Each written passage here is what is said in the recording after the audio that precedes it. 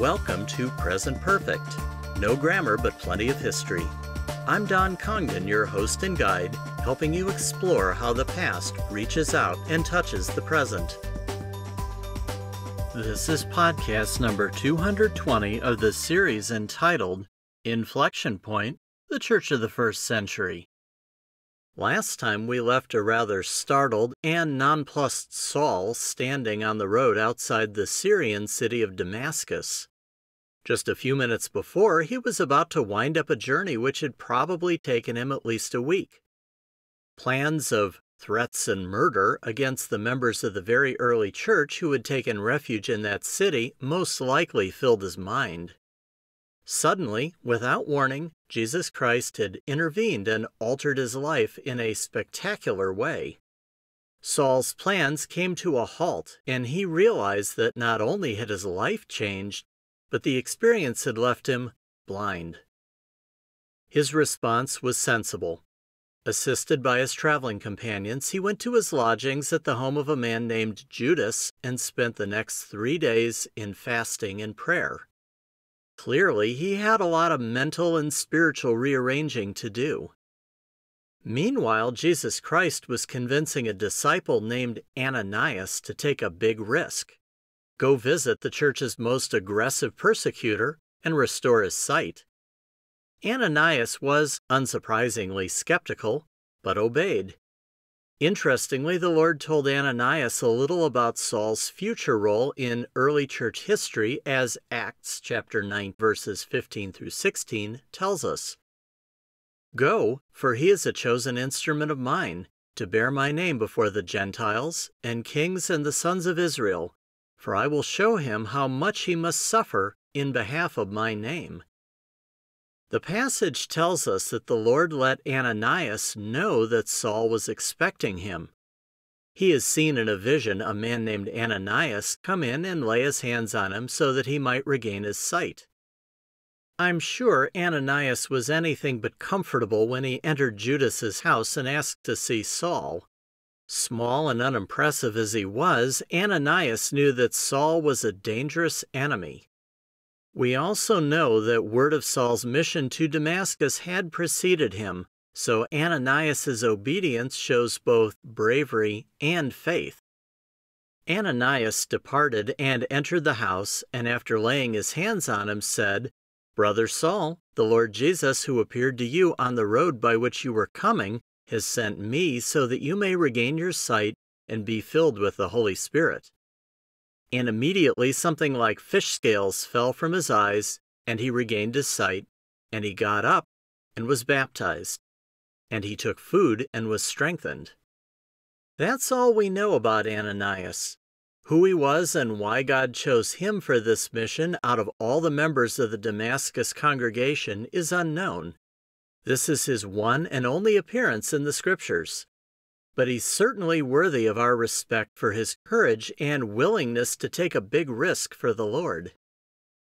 Paul mentions his encounter with Ananias in slightly more detail when he addressed the angry mob at Jerusalem, which Luke records in Acts chapter 22.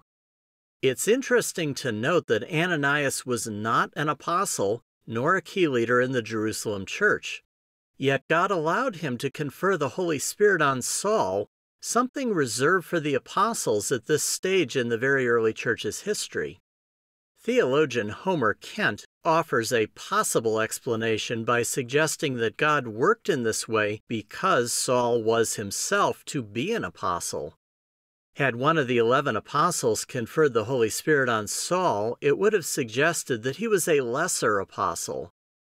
Paradoxically, by having an ordinary believer perform this task, God made it clear that the Holy Spirit came directly from Him and not via apostolic agency. This explanation makes sense to me. Meanwhile, the restored and re energized Saul took off like a house on fire. He redirected his zest for persecution into proclaiming the truth, as Acts chapter 9, verses 19 through 21 relates. Now, for several days he was with the disciples who were in Damascus, and immediately he began to proclaim Jesus in the synagogues, saying, He is the Son of God. all those hearing him continued to be amazed and were saying, Is this not the one who in Jerusalem destroyed those who called on this name, and had come here for the purpose of bringing them bound before the chief priests? Despite his past, the Damascus congregation doesn't seem to have had difficulty accepting Saul. Probably Ananias paved the way for him. That and his vehement proclamation of Jesus as Israel's Messiah undoubtedly carried weight. And now we come to a challenging and murky part of Saul's life. If we had nothing but Luke's account to go on, everything would be simple and straightforward. But Paul drops a few tantalizing remarks into Galatians chapter 1, which tell us that Luke compressed his account. Let's look at Paul's account and combine it with Luke's to establish a complete picture and chronology. Paul tells us, But when he who had set me apart even from my mother's womb and called me through his grace was pleased to reveal his Son in me so that I might preach him among the Gentiles, I did not immediately consult with flesh and blood, nor did I go up to Jerusalem to those who were apostles before me, but I went away to Arabia and returned once more to Damascus. Paul explains that after his conversion and a short period in Damascus, he didn't do what would have seemed logical and sensible return to Jerusalem and introduce himself to Peter, John, and the other apostles resident there. I'm sure that would have been interesting. Instead, he headed off to an undisclosed location in Arabia and spent an unknown period of time alone with the Lord, receiving intensive training. Although Saul was well schooled in the Old Testament scriptures, he needed the same information and foundational theological structure that the other apostles had received during their three years with Jesus. Paul alludes to this training in the same Galatians passage. For I would have you know, brothers and sisters, that the gospel which was preached by me is not of human invention, for I neither received it from man nor was I taught it, but I received it through a revelation of Jesus Christ. This passage supports Kent's hypothesis that God kept Saul apart from the other apostles so his message would in no way seem derivative. Instead, it came straight from the Lord, just as had theirs. In other words, Saul was their equal in apostolic authority and training. His unique ministry to the Gentiles carried just as much validity as theirs did to the Jewish people. These ideas also fit with the criteria specified in Acts chapter 1 when the disciples chose Matthias to replace Judas Iscariot. A true apostle must have seen Jesus after his resurrection and received direct instruction from him. Saul met both requirements. Interestingly, after his time in Arabia, Saul still didn't go to Jerusalem, but returned to Damascus and acquired disciples of his own. Luke's account, which omits the Arabia interval, picks up here in Acts chapter 9, verses 22 through 25. But Saul kept increasing in strength and confounding Jews who lived in Damascus by proving that this Jesus is the Christ. When many days had elapsed, the Jews plotted together to do away with him, but their plot became known to Saul. They were also closely watching the gates day and night so that they might put him to death.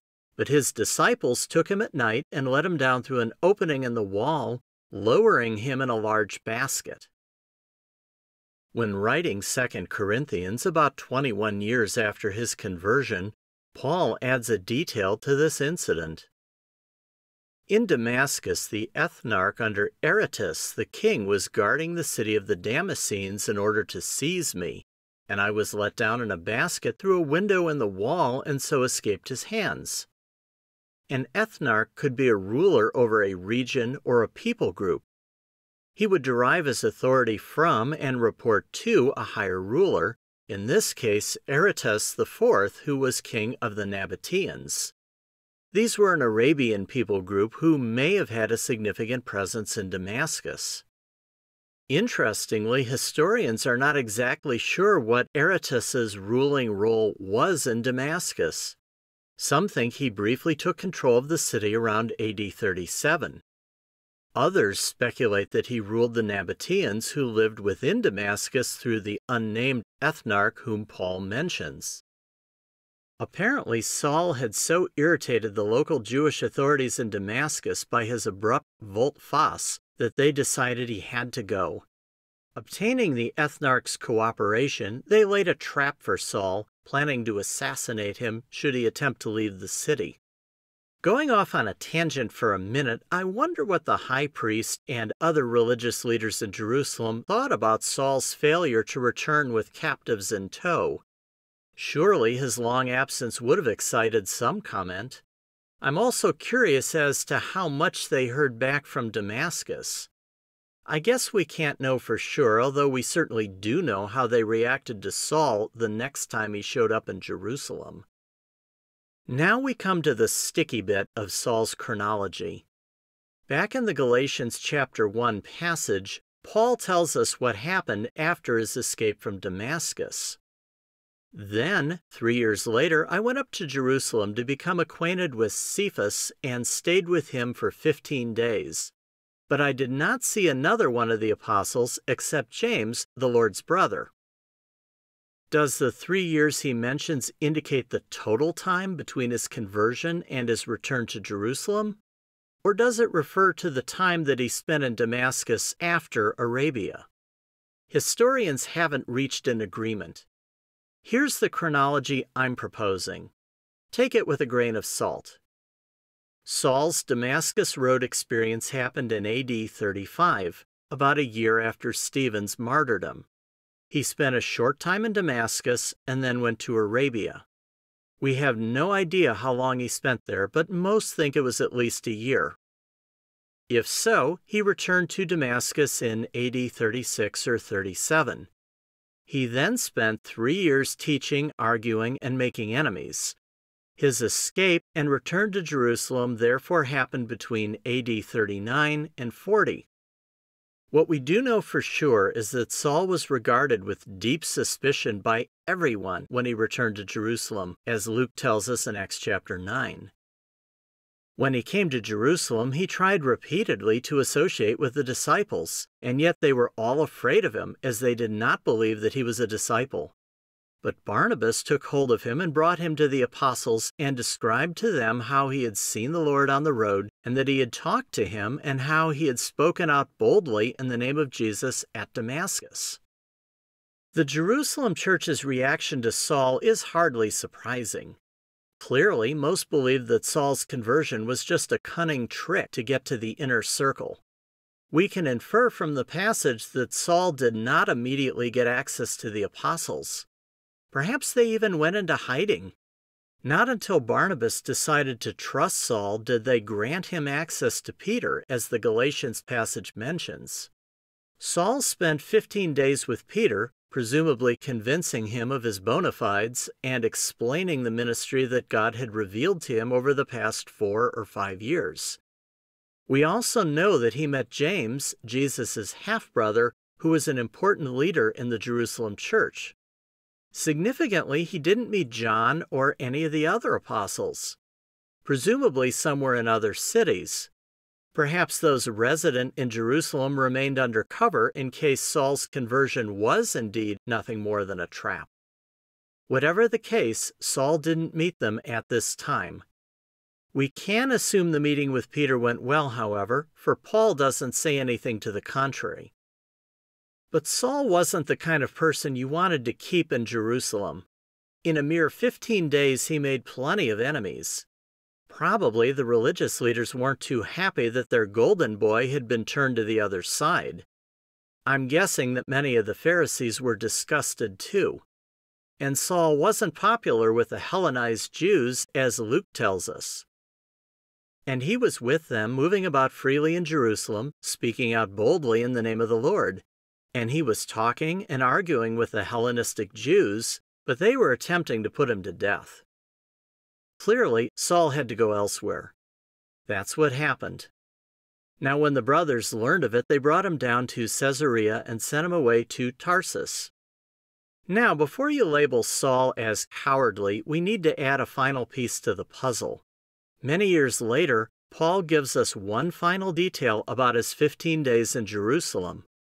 Luke documents it in Acts chapter 22, verses 17 through 21. It happened when I returned to Jerusalem and was praying in the temple that I fell into a trance, and I saw him saying to me, Hurry and get out of Jerusalem quickly, because they will not accept your testimony about me. And I said, Lord, they themselves understand that in one synagogue after another I used to imprison and beat those who believed in you. And when the blood of your witness Stephen was being shed, I also was standing nearby and approving and watching over the cloaks of those who were killing him. And he said to me, Go, for I will send you far away to the Gentiles. Saul's willingness to follow the good advice of the Jerusalem church stems from direct revelation. Not only did the Lord let Saul know that he was wasting his time arguing with the recalcitrant members of Israel, but he gave him specific instructions to prepare for his future ministry to the Gentiles. And that was that. Saul left Jerusalem, probably to everyone's relief. He returned to his home city of Tarsus in Cilicia. From the Galatians chapter 1 passage, we also know that he spent some time in Syria as well. He probably worked amongst the Hellenized Jews and Gentile proselytes to Judaism since pure Gentiles had not yet started to enter the church. And his greatest outreaches to the Gentiles were still some years in the future. But for now, we're done with our friend Saul. He won't reappear in this decade, but I've got plenty to say about him when he returns. Luke sums up Saul's departure with a sense of relief that's as clear now 2,000 years later, as it must have been in AD 39. So the church throughout Judea, Galilee, and Samaria enjoyed peace as it was being built up, and as it continued in the fear of the Lord and in the comfort of the Holy Spirit, it kept increasing. We're almost done with the very early church's first decade. Next time, we'll wrap it up and summarize its key qualities and characteristics. So until next time, I'm Don Congdon and this is Present Perfect. Have a great day. Present Perfect is a copyright of Don Congdon. Music is copyright Footage Firm Incorporated. Scripture quotations are from the New American Standard Bible, which is a copyright of the Lockman Foundation. This podcast is available on YouTube, Apple Podcasts, and Stitcher. Just search for Present Perfect Church History.